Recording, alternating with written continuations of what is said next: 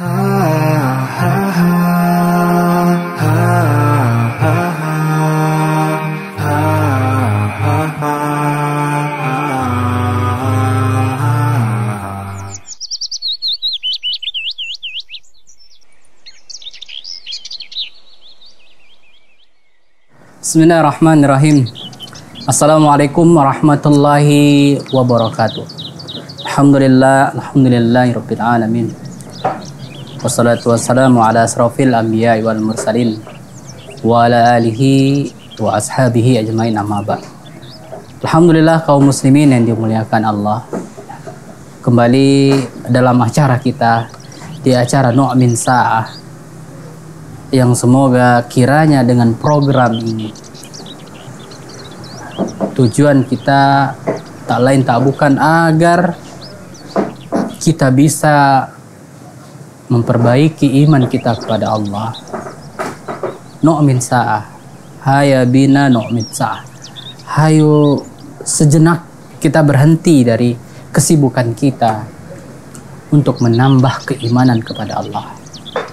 Ayo sejenak mengambil rohah kita, istirahat kita untuk menyantap atau memberikan santapan bagi jiwa kita yang saat ini mungkin saja sedang dalam keadaan haus, dalam keadaan kritis, karena sangat butuh kepada nutrisi hati.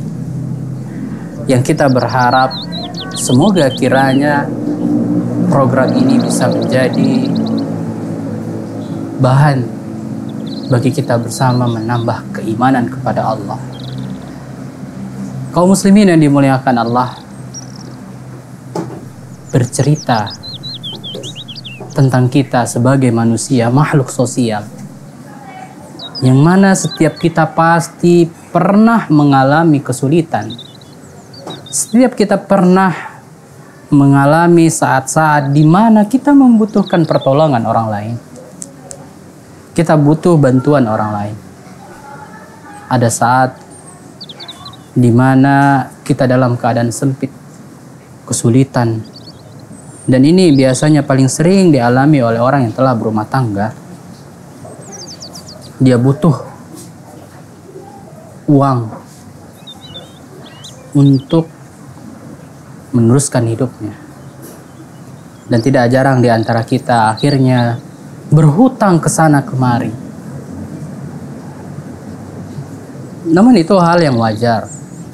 Suatu yang lumrah. Suatu yang mungkin setiap kita pernah mengalami. Baik kita berhutang atau kita dihutang. Namun gaya ini yang ingin kita pahami, yang harus kita ketahui adalah ada orang-orang yang dia bahkan menjadikan kebiasaan hutang ini sebagai hobinya. Bahkan sebagaikan kebutuhan untuknya. Dia tidak merasa puas kalau dia tidak berhutang. Sehingga jadilah hidupnya dipenuhi dengan hutang. Dia bergaya terlihat sebagaikan orang yang kaya raya, tapi ternyata semua itu dari hutang. Dia ambil rumah, rumahnya dengan hutang. Dia ambil kendaraan, kendaraannya dengan hutang. Pakaian, isi rumahnya dan lain sebagainya. Semuanya bermuamalah dengan hutang. Yang sakitnya hutang-hutang tersebut jatuh pula kepada perkara yang Allah haramkan. Dalam agama kita tidak melarang hutang, silahkan kalau memang kita betul-betul membutuhkan toh Nabi juga pernah melakukan hal yang sama namun betul-betul itu disebabkan karena kebutuhan bukan sesuatu yang dia lakukan karena hobinya atau karena untuk memenuhi kepuasannya. Karena dia ingin memiliki kendaraan yang mewah memiliki HP baru memiliki baju pakaian yang ngetren dan lain sebagainya. Sehingga dia gampang saja untuk kredit untuk mengambil hutang. Nah kita perlu pahami kaum muslimin yang dimuliakan Allah. Mulai saat ini waspada dan berhati-hatilah dalam hal hutang Karena bisa jadi Anda termasuk orang yang berbahaya dengan hutang. Berapa banyak orang yang akhirnya dia stres, hidupnya terasa sempit, padahal dia bergelimang dengan harta. Namun karena hutangnya yang begitu amat sangat banyak, sempit rasa dia, berjalan bagaikan tidak menyentuh tanah. Selalu kepikiran, selalu ketakutan. Bahkan ini yang dikatakan oleh Nabi kita, ketika ada sahabat yang bertanya, "Wahai Rasulullah, kenapa engkau?" Nabi mengulangi doanya agar dia diselamatkan dari hutang sampai tiga kali. Nabi terus ulangi. Maka ditanya kepadanya, "Kenapa? Kenapa engkau berdoa begitu banyak minta agar dihindari atau diselamatkan dari yang namanya hutang?" Maka dikatakan, sesungguhnya orang yang berhutang, orang yang memiliki banyak hutang, maka dia besar kemungkinan akan melakukan dua hal. Dia akan berdusta dan dia akan mengingkari janjinya disebabkan hutangnya. Dia berdusta, dia akan katakan besok aku bayar. Itu kedustaannya yang pertama. Yang kedua, dia mengingkari janjinya. Nah, ini yang sangat-sangat ditakutkan oleh sahabat-sahabat Nabi, Nabi dan juga para ulama terdahulu. Sehingga mereka berdoa kepada Allah ketika mereka punya Allah, punya hutang, mereka berdoa kepada Allah. Allahumma kfini bihalalika an haramik wa aghnini amman siwa. Ya Allah, cukupkanlah aku. Cukupkanlah aku dengan rahmatmu dan juga meminta kepada Allah agar kiranya dimudahkan diselamatkan dari perkara yang haram yang membuat dia berhutang. Baik kaum muslimin yang dimuliakan Allah, kita akan lanjutkan menjelaskan tentang perkara hal yang harus kita perhatikan ancaman bagi orang-orang yang dia mengabaikan atau sepele dengan masalah hutangnya. Salah setelah beberapa jeda berikut ini.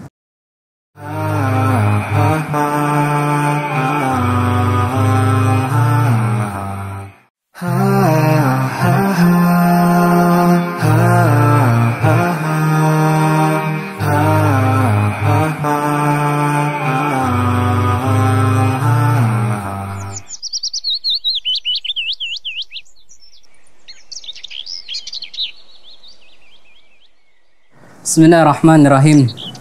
Assalamualaikum warahmatullahi wabarakatuh. Alhamdulillah, alhamdulillahirabbil alamin. Wassalatu wassalamu ala asrafil anbiya'i wal mursalin wa ala alihi wa ashabihi ajmain amma ba'd. Alhamdulillah kaum muslimin yang dimuliakan Allah. Kembali dalam acara kita di acara Nu'min Sa'ah yang semoga kiranya dengan program ini tujuan kita tak lain tak bukan agar kita bisa memperbaiki iman kita kepada Allah. Nu'min sa'ah. Haya bina nu'min sa'ah. Hayo sejenak kita berhenti dari kesibukan kita untuk menambah keimanan kepada Allah. Ayo sejenak mengambil rohah kita, istirahat kita untuk menyantap atau memberikan santapan bagi jiwa kita yang saat ini mungkin saja sedang dalam keadaan haus, dalam keadaan kritis, karena sangat butuh kepada nutrisi hati. Yang kita berharap semoga kiranya program ini bisa menjadi bahan bagi kita bersama menambah keimanan kepada Allah. Kaum muslimin yang dimuliakan Allah bercerita tentang kita sebagai manusia, makhluk sosial. Yang mana setiap kita pasti pernah mengalami kesulitan. Setiap kita pernah mengalami saat-saat di mana kita membutuhkan pertolongan orang lain kita butuh bantuan orang lain. Ada saat di mana kita dalam keadaan sempit, kesulitan. Dan ini biasanya paling sering dialami oleh orang yang telah berumah tangga. Dia butuh uang untuk meneruskan hidupnya. Dan tidak jarang di antara kita akhirnya berhutang ke sana kemari. Namun itu hal yang wajar. Suatu yang lumrah. Suatu yang mungkin setiap kita pernah mengalami. Baik kita berhutang atau kita dihutang. Namun gaya ini yang ingin kita pahami, yang harus kita ketahui adalah ada orang-orang yang dia bahkan menjadikan kebiasaan hutang ini sebagai hobinya. Bahkan sebagaikan kebutuhan untuknya. Dia tidak merasa puas kalau dia tidak berhutang. Sehingga jadilah hidupnya dipenuhi dengan hutang. Dia bergaya terlihat sebagaikan orang yang kaya raya, tapi ternyata semua itu dari hutang. Dia ambil rumah, rumahnya dengan hutang. Dia ambil kendaraan, kendaraannya dengan hutang. Pakaian, isi rumahnya, dan lain sebagainya. Semuanya bermuamalah dengan hutang. Yang sakitnya hutang-hutang tersebut jatuh pula kepada perkara yang Allah haramkan. Dalam agama kita tidak melarang hutang silahkan kalau memang kita betul-betul membutuhkan. Toh Nabi juga pernah melakukan hal yang sama. Namun betul-betul itu disebabkan karena kebutuhan. Bukan sesuatu yang dia lakukan karena hobinya atau karena untuk memenuhi kepuasannya. Karena dia ingin memiliki kendaraan yang mewah memiliki HP baru memiliki baju pakaian yang ngetren dan lain sebagainya. Sehingga dia gampang saja untuk kredit untuk mengambil hutang. Nah kita perlu pahami kaum muslimin yang dimuliakan Allah. Mulai saat ini waspada dan berhati-hatilah dalam hal hutang. Karena bisa jadi anda termasuk orang yang berbahaya dengan hutang. Berapa banyak orang yang akhirnya dia stres. Hidupnya terasa sempit. Padahal dia bergelimang dengan harta. Namun karena hutangnya yang begitu amat sangat banyak sempit rasa dia. Berjalan bagaikan tidak menyentuh tanah. Selalu kepikiran selalu ketakutan. Bahkan ini yang dikatakan oleh nabi kita ketika ada sahabat yang bertanya, "Wahai Rasulullah, kenapa engkau?" Nabi mengulangi doanya agar dia diselamatkan dari hutang sampai tiga kali. Nabi terus ulangi. Maka ditanya kepadanya, "Kenapa? Kenapa engkau berdoa begitu banyak minta agar dihindari atau diselamatkan dari yang namanya hutang?" Maka dikatakan, "Sesungguhnya orang yang berhutang, orang yang memiliki banyak hutang, maka dia besar kemungkinan akan melakukan dua hal. Dia akan berdusta dan dia akan mengingkari janjinya disebabkan hutangnya. Dia berdusta, dia akan katakan besok aku bayar. Itu kedustaannya yang pertama. Yang kedua, dia mengingkari janjinya. Nah, ini yang sangat-sangat ditakutkan oleh sahabat-sahabat Nabi, Nabi dan juga para ulama terdahulu. Sehingga mereka berdoa kepada Allah ketika mereka punya Allah, punya hutang, mereka berdoa kepada Allah. Allahumma kfini bihalalika an haramika wa aghnini amman siwa. Ya Allah, cukupkanlah aku. Cukupkanlah aku dengan rahmatmu dan juga meminta kepada Allah agar kiranya dimudahkan diselamatkan dari perkara yang haram yang membuat dia berhutang. Baik kaum muslimin yang dimuliakan Allah, kita akan lanjutkan menjelaskan tentang perkara hal yang harus kita perhatikan. Ancaman bagi orang-orang yang dia mengabaikan atau sepele dengan masalah hutangnya. Salah setelah beberapa jeda berikut ini.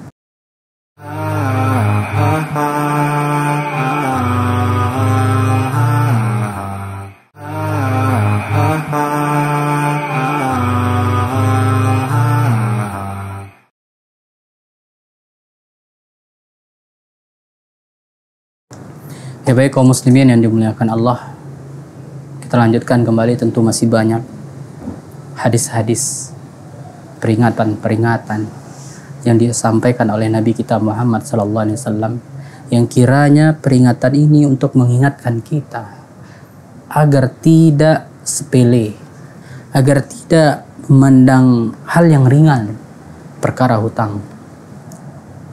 Sebagaimana banyak kita lihat Masya Allah, tawaran-tawaran yang menggiurkan. Pinjaman online. Ingin beli ini itu dikasih, silahkan. Dan bisa dicicil pembayarannya. Namun tahukah kita, ternyata itu semua tak lain tak bukan. Sebagian besarnya bahkan bisa kita katakan 90% sangat-sangat banyak terdapat di dalamnya unsur-unsur ribawi yang mana banyak orang yang menyesali ketika telah terjebak di dalamnya. Kita mendengar kasus yang kemarin viral yang dia pernah melakukan pembelian secara hutang di suatu marketplace yang dia tidak sadari, dia menganggap sepele awalnya dia hanya memakai kurang lebih sekitar 500 ribu. Dan tiba-tiba setelah berlalu sekian bulan, dia terkejut diteror, dikatakan hutangnya sudah mencapai 11 juta. Dia menangis sejadi-jadinya. Dia merasa tidak pernah melakukannya. Tapi itulah kejamnya riba. Dia akan mencekik, terus menghisap darah orang yang meminjamnya, memakainya maka hindari sebisa mungkin. Dan ketika kita dapat di orang-orang yang mau membantu kita, yang kiranya memberikan pinjaman kepada kita secara ikhlas dan tidak dipungut tambahan dari hutang tersebut, hargai, jaga dia. Kalau kita memang belum mampu untuk membayar, jangan sakiti hatinya sampaikan secara baik. Katakan, kalau Anda memang benar belum bisa membayarnya. Jangan sampai ada istilah ketika meminjam dia mengemis-ngemis, meminta, menghiba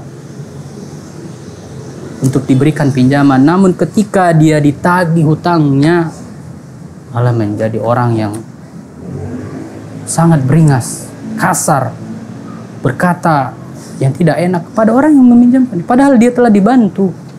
Allah Akbar. Ini yang sering kali terjadi. Hindari hal seperti ini kaum muslimin. Jangan sampai kita menjadi orang yang zolim, terutama kepada orang yang berbuat baik kepada kita.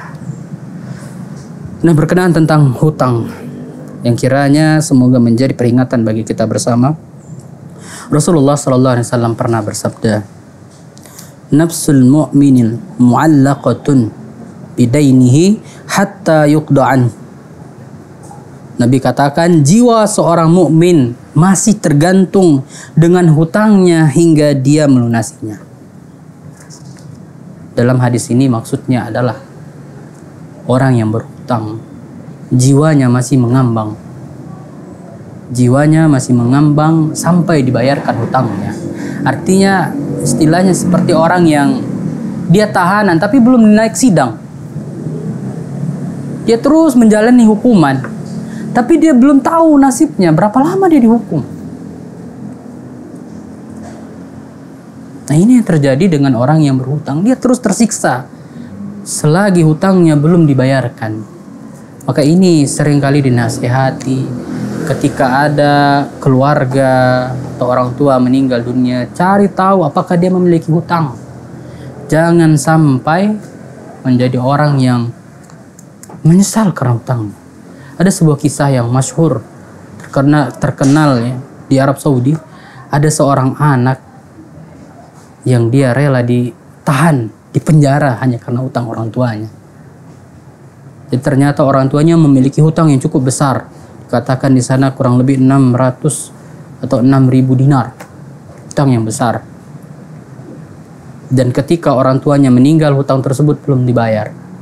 Sampailah uh, dia harus mempertanggungjawabkan ahli warisnya adalah anaknya. Dan ketika di persidangan dia katakan kepada sang hakim, "Wahai hakim, aku sangat ingin menebus hutang ayahku, orang tuaku dan aku tidak ingin dia disiksa karena hutangnya." Sehingga dia ingin menggantikan, tapi dia tidak punya uang. Dia tidak punya kemampuan untuk mengganti hutang tersebut. Sehingga dia menerima keputusan hakim biarlah aku menggantikan orang tuaku untuk menebus hutangnya. Di penjara dalam tahanan tersebut yang penting lunas hutang. Maka terkenalah seorang anak menebus membayar hutang ayahnya, dia rela untuk dipenjara. Kisah tersebut masyhur, tersebar. Akhirnya apa yang terjadi? Para saudagar, orang-orang kaya di Saudi mau berkumpul mereka mengumpulkan uang untuk menebus si anak karena baktinya yang luar biasa dia tidak ingin ayahnya tersiksa karena hutangnya. Coba lihat dahsyatnya.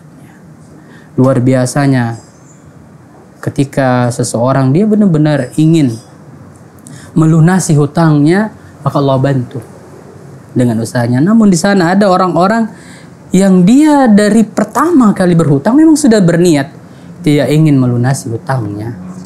Sehingga apa yang terjadi? Sebagaimana dalam hadis Nabi lainnya, Nabi katakan seseorang yang dia berhutang dengan niat tidak ingin membayar hutangnya, maka nanti dia akan dihidupkan akan dikumpulkan bersama orang-orang pencuri. Statusnya bagaikan seorang pencuri. Karena dia dari awal memang berniat tidak untuk melunasi hutang. Hanya sekedar hutang mengambil harta saudaranya atau orang yang membantu. Maka naudzubillah kaum muslimin yang dimuliakan Allah berlindunglah kita mohon kepada Allah terjaga. Kalau kita termasuk orang-orang yang memiliki hutang mohon kepada Allah dengan sangat agar kiranya Allah bantu kita untuk melunasi hutang amin. Amin ya robbal alamin. Mudah-mudahan bermanfaat bagi kita kaum muslimin yang dimuliakan Allah. Kita tutup dengan doa kebaratul majlis. Subhanakallahumma wa bihamdika asyhadu la ilaha illa anta astaghfiruka wa atubu ilaik. Wassalamualaikum warahmatullahi wabarakatuh